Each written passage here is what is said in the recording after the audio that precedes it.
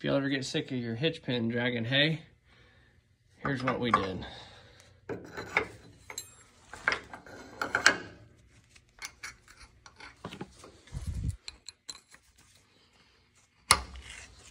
And now, just barely goes through.